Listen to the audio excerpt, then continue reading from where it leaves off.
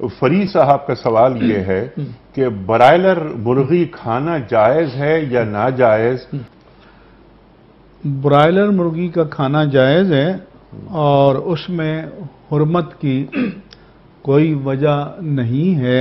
अच्छा। अलबत् जहाँ तक उसके फ़ीड या खुराक का सवाल है हाँ, ये जो फ़ीड है इसमें तो कोई बदबू या इस तरह का कोई असर नहीं होता। लिहाजा یہ خوراک جائز ہے۔ اور دوسری بات یہ ہے کہ جب کسی چیز کا اس طرح سے مرکب بنایا جاتا ہے کہ جس میں اس کی سابق حیت اپنی اصل پر باقی نہ رہے بلکہ وہ بدل جائے تو اس کا حکم بھی بدل جاتا ہے۔ اس کا حکم بھی بدل جاتا ہے۔ ٹھیک۔